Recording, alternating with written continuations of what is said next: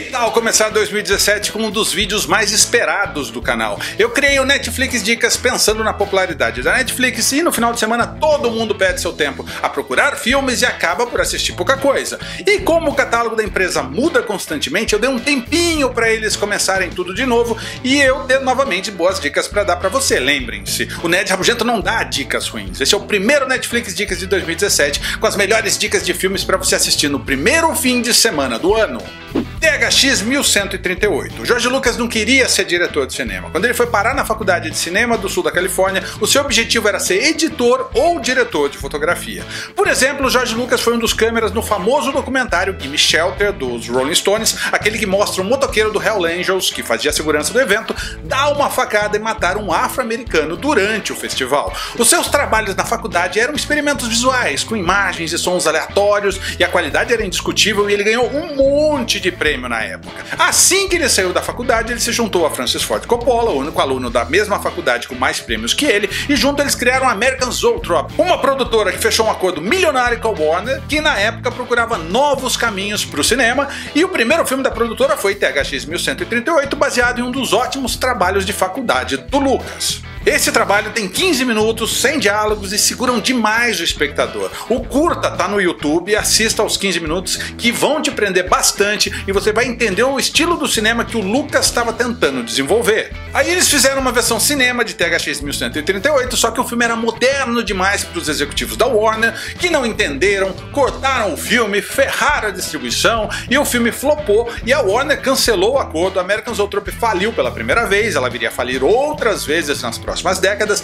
e os dois garotos prodígios, George Lucas e Francis Ford Coppola, seguiram com outros projetos. Francis se viu, por causa da dívida com Warner, obrigado a fazer o Poderoso Chefão, só isso, só o Poderoso Chefão, e o George Lucas foi fazer American Graffiti, que foi indicado para cinco Oscars: melhor roteiro, melhor edição, melhor atriz coadjuvante, melhor diretor e melhor filme. E mesmo assim, THX 1138 caiu no esquecimento, mais ou menos. Por conta do sucesso do Lucas nos filmes seguintes, também conhecido como Star Wars, THX se transformou em uma lenda. Era um filme que ninguém tinha visto, mas que tinha assinatura do cara que criou Star Wars. Aliás, até hoje THX 1138 é um filme mais comentado que assistido. Logo, eu acho que esse é o filme perfeito para começar o Netflix Dicas de 2017. É um filme histórico, contestador, moderno demais para sua própria época, talvez moderno demais até para nossa época. Mas é um filme que merece ser visto, seja você fã de Star Wars, seja você fã de cinema ou seja apenas por curiosidade. Com certeza estará na segunda lista dos filmes que você precisa assistir antes de morrer.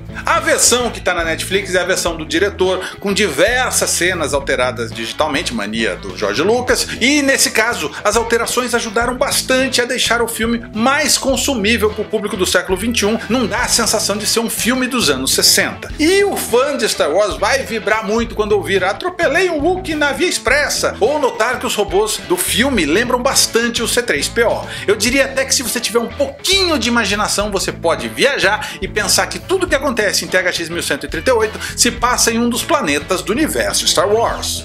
Depois de deixar você tenso e pensativo com THX, que tal se divertir feito louco?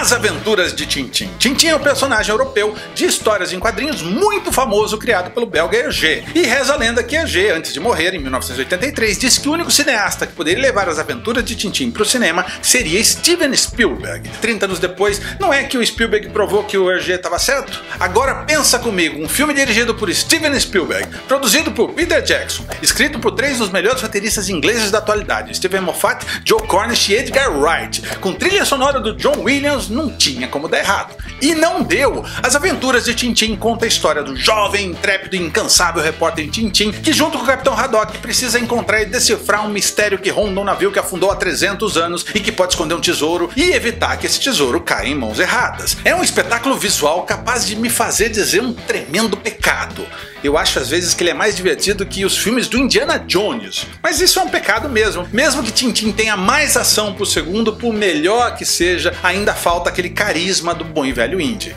Comparações desnecessárias à parte, é claro que ser feito em computação gráfica ajuda muito. Não tem limites para ação, a lei da gravidade é colocada de lado, não existe. E o filme desafia o cérebro e os olhos do espectador com tamanha quantidade de cenas enlouquecidamente divertidas que explode a sua cabeça. O roteiro é genial, personagens são bem desenvolvidos e em momento nenhum o filme trata o público como idiota. Eu acho que as aventuras de Tintin não se destacou tanto por dois motivos, nenhum realmente desculpável. O primeiro é o personagem europeu, o que fez com que o público americano não prestasse muita atenção no filme, e o segundo é por ser um filme que desafia o espectador, que ele não entrega momentos fáceis, não entrega diversão sem cérebro, e nem sempre o público gosta disso. Tem também o motivo do filme ser um pouco mais adulto do que infantil, mas eu não sei se esse é exatamente um problema. Eu só posso dizer que As Aventuras de Tintin é um dos melhores filmes de ação deste século e que eu me arrependo profundamente de ter ignorado esse filme no cinema. Eu sempre gostei mais de Asterix do que de Tintin. As Aventuras de Tintin é um daqueles filmes que você precisa assistir antes de morrer. E ponto. Para fechar a lista de hoje, que tal mais um filme que você precisa assistir antes de morrer? Os Aventureiros do Bairro Proibido. Quando o caminhoneiro Jack Burton chega a Chinatown em São Francisco para fazer uma entrega, o seu amigo Wan Shi pede a ele uma carona até o aeroporto para ele buscar a sua noiva, uma linda chinesa com olhos verdes chamada Miao Yin. Acontece que um tal de Lopan, traficante de renome, apareceu por lá, ele ficou sabendo dos olhos da Miaulinda e decidiu que a chinesinha ele ia sequestrar. Aí o Jack pegou seu caminhão, pegou o Wang que sabia brigar e decidiu seguir para Chinatown para a chinesinha sequestrada ele ir salvar. Lopan era um velho sem vergonha, tinha uma maldição medonha e fez todo mundo lutar, desvirginava as chinesinhas inocentes e dizia que era um deus mas não sabia andar. Tá bom, né? Chega de pataquada aqui. O lance é que Aventureiros do Bairro Proibido é um dos filmes Sessão da Tarde mais sensacionais de todos os tempos. Envelheceu, tem uns efeitos especiais meio toscos, mas o diretor John Carpenter estava no seu melhor momento. Filme foi mal nas bilheterias, rendeu menos da metade do que custou, e o John Carpenter voltou a fazer filmes independentes depois disso, mas virou um filme cultuado e criou uma legião de fãs, eu sou um desses. Eu assisti ao filme no cinema e eu revi trocentas vezes em casa e vou rever assim que terminar de gravar esse vídeo. A fórmula é perfeita, ação, suspense, magia, porrada, humor e um motorista de ônibus chamado Egg. É um filme B de propósito e será um dos mais divertidos que você vai assistir em 2017, isso eu posso te garantir. Aventureiros foi um dos primeiros filmes, se não o primeiro grande filme de Hollywood, a trazer uma trupe de lutadores chineses para filmar em solo americano. E tem várias curiosidades. Por exemplo, o John Carpenter queria o Jack Chan no filme, mas o Chan recusou. O Kurt Russell recusou o papel principal em Highlander para poder estrelar Aventureiros. O Christopher Lambert, que estrelou o Highlander, anos depois fez o papel de Raiden no filme Mortal Kombat. E o Raiden do game Mortal Kombat foi inspirado diretamente em um dos três tempestades de aventureiros do bairro proibido. Aliás, os três tempestades foram chupados completamente dos quadrinhos japoneses O Lobo Solitário de Kazuko Ikigozeki Kojima. O John Carpenter estava mesmo numa onda oriental forte nesse filme. Assista aos Aventureiros do Bairro Proibido antes que saia o tal do remake com The Rock no papel principal eles tirem toda aquela magia do filme. E depois de assistir a esses três filmes, você vai ter um final de semana perfeito. O primeiro final de semana do ano vai ser perfeito. O Nerd Rabugento não dá dica ruim.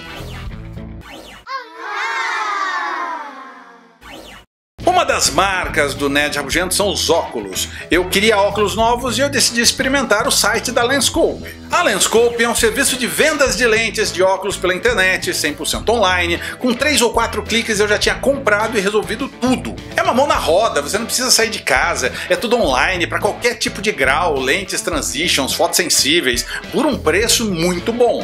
Eu mandei a receita pelo site da Lenscope, eu mandei uma foto para eles saberem a DNP, a distância entre as pupilas, e depois de uma semana os óculos chegaram aqui em casa sem nenhum problema. Eu peguei uma lente fotocroma, anti-reflexo, anti-risco, proteção UV, o tratamento fotossensível, aquele que escurece no sol, ele vai direto na lente, não é película, eu testei e funciona que é uma beleza. Se você já tem a armação, é só mandar para eles, em São Paulo ou Campinas, eles buscam a armação e entregam os óculos na sua casa de bike sem custo de frete. Eu Eu comprei a armação dos meus óculos também pela internet no site da Hatsu, uma empresa de armações que trabalha com tecnologia japonesa e sul-coreana. Os links da Lenscope e da Hatsu estão na descrição do vídeo, é um serviço que eu indico, foi super tranquilo e até agora tá tudo certinho e eu tenho 100 dias para testar. Se eu não gostar, eles devolvem o meu dinheiro. Que tal você me dar algumas dicas com os melhores filmes do catálogo da Netflix? Deixa a sua dica nos comentários e inscreva-se no canal Nerd Rabugento. Assista os outros vídeos do canal, são mais de 400 vídeos e ajude o canal a crescer. Seja apoiador, espalhe os vídeos. Vamos chegar a um milhão de inscritos em 2017. E você pode acompanhar em tempo real todos os filmes e séries que eu assisto via Tract. O link também está nos comentários.